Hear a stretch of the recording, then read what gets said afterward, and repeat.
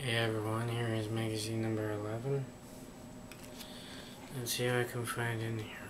Let's See what you guys may like.